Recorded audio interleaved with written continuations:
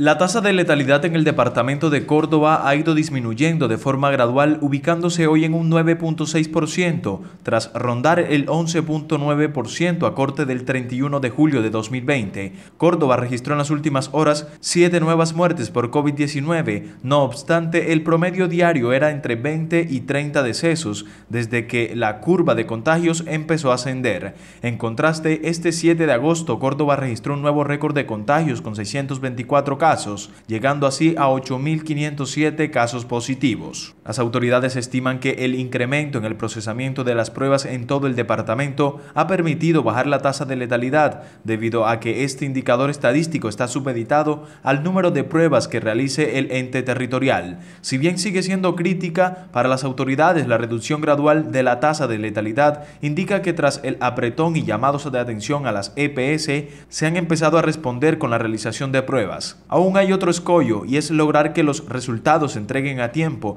No obstante, con la aplicación de las pruebas de antígenos mejorarán los tiempos de espera. Por municipios, Montería es el que más fallecimientos acumula, tiene un total de 431 y una tasa de letalidad del 8.0%. Cerete por su parte tiene 84 decesos, entre tanto Lorica 79, Montelíbano 28, Sahagún 27, Planeta Rica 21 decesos para un total de 817 muertes en el departamento.